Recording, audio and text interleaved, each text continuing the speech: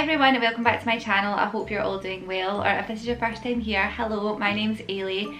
I'm a mum of two boys and I live in Glasgow. I have Oliver who is two and a half years old and Marcus here is just 13 weeks. Being a second time mum has definitely made me a bit more clued up on all the challenges that you can face when you have a baby. Now Oliver had nappy rash on quite a few occasions as a baby and sometimes it was down to just the nappy rubbing on his skin or changing to a different brand of nappies and it didn't agree with him.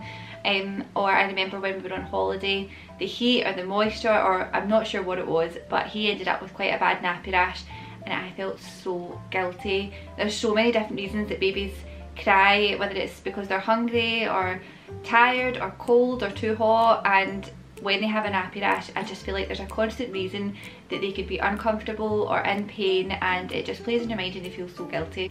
But I did just assume that all babies get nappy rash at some point, it's just part and parcel of having a baby and when it came up I would treat it with nappy cream and just pray that it would go away as soon as possible. This time around though I know a lot more about nappy rash and how to protect against the causes of it.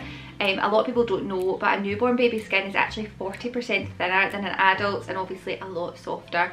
So things like wee and poo in their nappies can can really irritate their skin and that sort of thing can lead to a nappy rash. So I have been using Bepanthen for Marcus because he is so young. He has a lot of wet and dirty nappies throughout the day so this is just part of our routine now and I put it on with every nappy change just to protect his little bottom against the causes of nappy rash. Bepanthen is really kind to your baby's skin because it doesn't contain any fragrances, preservatives or antiseptics and it's enriched with provitamin B5 to protect and support the recovery of your baby's skin.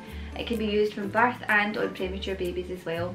Another thing that I like to do for Marcus is to put a towel down after his bath, put it on the changing mat and just let him enjoy some nappy free time which lets some air get to the area and just lets him enjoy being without a nappy that he's been wearing all day. So if you want to learn more about Bepanthen, I'll leave a link in the description box below which will take you to their website. If you have enjoyed this video, don't forget to give it a thumbs up and subscribe and we will see you in our next one.